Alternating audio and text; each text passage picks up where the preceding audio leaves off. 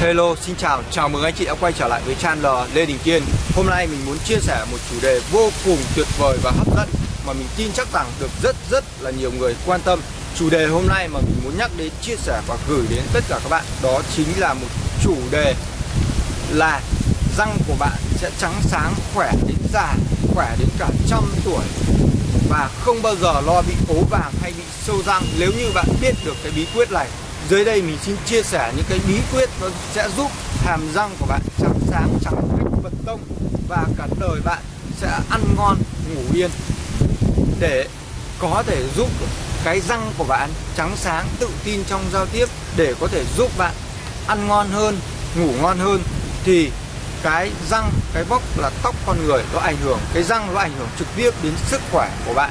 Nó là cái hàm để các bạn nhai, thức ăn, nuốt vào trong cơ thể. Từ đó cơ thể của bạn sẽ hoạt động một cách tốt lên hoặc một cách xấu đi, đó là hoàn toàn phụ thuộc vào hàm răng của bạn. Đúng không dưới đây mình xin kể ra những cái cách mà sẽ giúp bạn phát triển hàng răng, giúp bạn răng của bạn chắc khỏe đến già, không bao giờ lo bị ốm đau hay bệnh tật. Nếu như răng của bạn bị bệnh tật, nếu như răng của bạn bị ốm đau, bị xảy ra bất một, bất kỳ một cái điều gì đó, thì video này dành cho bạn. Xin chúc mừng bạn. Chào mừng anh chị đã quay trở lại với channel Lê Đình Kiên. Hãy đăng ký kênh và ấn vào biểu tượng chuông bên cạnh Để có thể cập nhật những thông tin hay hữu ích nhất trên kênh của tôi.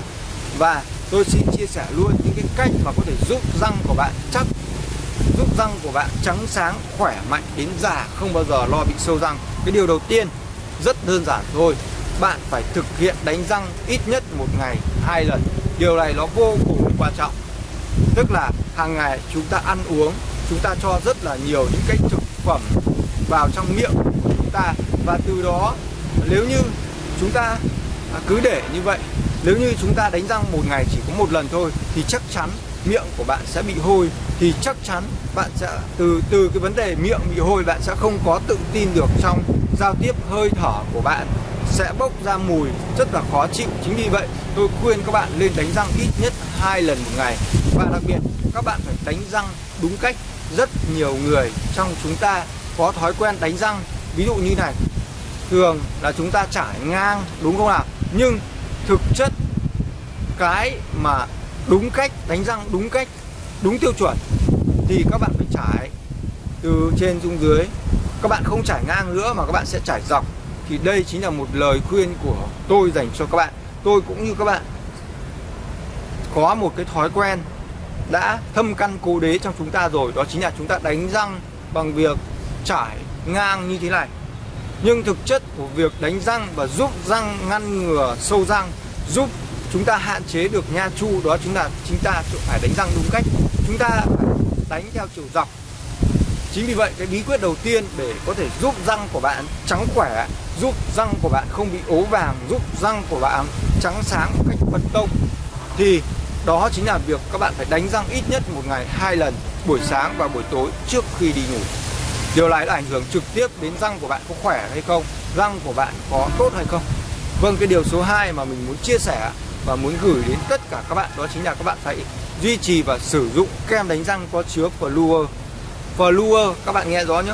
Những kem đánh răng có chứa chất fluor nó sẽ giúp răng của bạn trắng sáng và đây là một cái chất có thể giúp các bạn ngăn ngừa sâu răng một cách hiệu quả nhất thế giới. Chính vì vậy, các bạn hãy sử dụng những cái loại kem đánh răng có chứa fluor bởi vì cái chất fluor này nó sẽ giúp răng của bạn nhất là trắng sáng. Thứ hai là ngăn ngừa sâu răng, thứ ba là ngăn ngừa ố vàng, thứ tư đó chính là giúp răng của bạn sẽ không bị bệnh tật. Và cái điều tiếp theo nữa mà mình muốn chia sẻ để có thể răng, hàm răng của bạn có thể chắc khỏe, để răng của bạn có được trắng sáng, chắc khỏe đến già thì các bạn không nên bỏ qua điều này. Đó chính là gì ạ?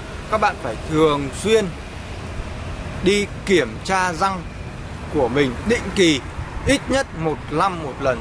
Điều này nó sẽ ảnh hưởng trực tiếp đến cái quá trình phát triển cũng như răng của các bạn có được chắc khỏe hay không thì các bạn phải luôn luôn đi kiểm tra định kỳ. Các bạn hãy đến những cái bệnh viện hoặc những cái à, những cái bác sĩ họ có thể kiểm tra định kỳ cho hàm răng của bạn. Họ sẽ tư vấn cho bạn cái hàm răng của bạn nếu như đang xảy ra một cái vấn đề nào đó. Ví dụ răng của bạn đang bị à, sâu răng này hoặc răng của bạn đang bị thiếu này hoặc răng của bạn đang bị lệch này thì bác sĩ sẽ điều chỉnh và sẽ giúp bạn uh, điều chỉnh toàn bộ cái hàm răng của mình trong quá trình chúng ta lớn lên từ lúc sinh ra cho đến lúc chết đi thì chúng ta phải có được những cái phương pháp thực hiện từng bước một trong quá trình bảo vệ hàm răng của mình.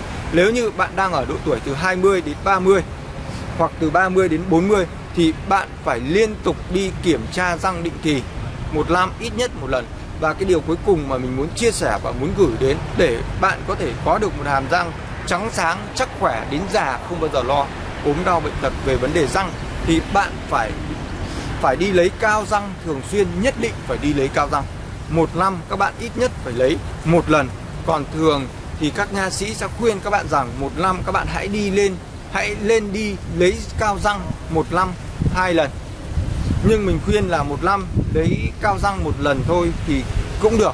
Bởi vì ở cái răng của chúng ta là một cái thứ mà để có thể giúp chúng ta à, nhai đúng không ạ? Giúp chúng ta ăn và từ đó lạp năng lượng lạp thức ăn vào cơ thể. Và từ đó cơ thể của chúng ta có được khỏe mạnh hay không nó ảnh hưởng rất nhiều đến cái vấn đề răng miệng của chúng ta.